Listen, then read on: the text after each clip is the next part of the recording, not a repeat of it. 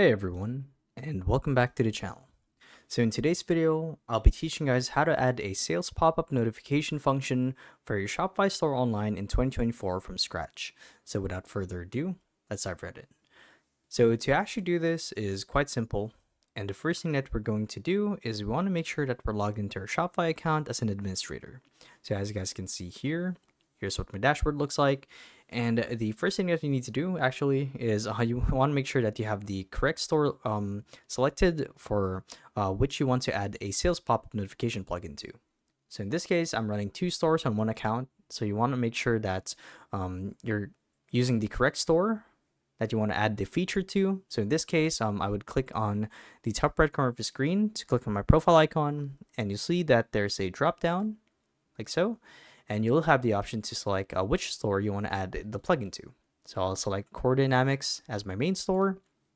And the idea here is we will want to get access to the Shopify App Store. Now, there are a couple ways to get there. You guys can either click on the search bar like so and type down um, the app that you want to install. So it's going to be Sales Pop-Up.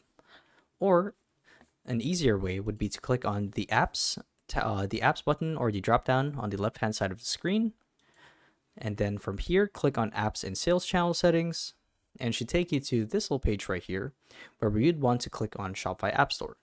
And when we do, this is actually going up to uh, going to open up a new tab where uh, we would get access to the Shopify App Store.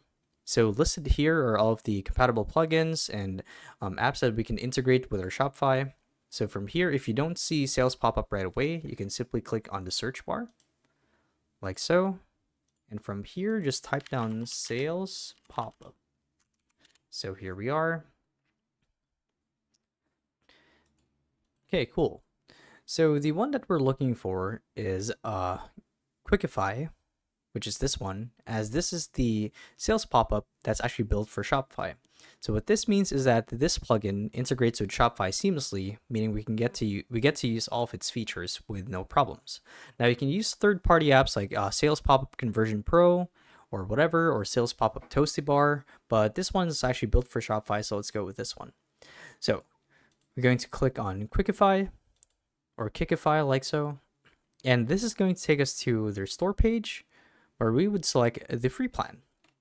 So um, as you guys can see, um, if you read the description, it says uh, Kickify includes multiple boost sales tools in one app. With Kickify, uh, you can boost sales and trigger customers' um, fear of missing out by adding social proof with recent sales, build trust, and attract new customers with visitor counter, sales pop up, which is what we're looking for, sold count, and overall increase engagement, and maybe uh, perhaps uh, lead to more conversions. So that's pretty cool. Now we're going to click on install and it's going to open up new tab and it actually comes with a paid plan as well as a free plan. But because we're just making this video, we're going to go with the free plan. And it goes without saying that um, the paid ones will come with more features, but the free one should provide you with the fundamentals that you need to actually get this up and running. So should be no issue. So once you're on this page right here, we're basically going to click on install. And this is going to authorize the um, app to integrate with our Shopify, like so.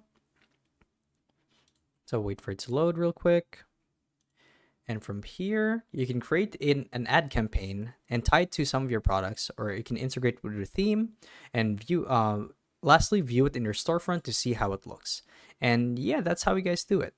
So it's pretty straightforward. Just use Kickify and you should be done. So hopefully this video helped you out. And if it did, be sure to let us know down in the comment section below. So thank you all for watching. We'll see you guys in the next one. Bye-bye.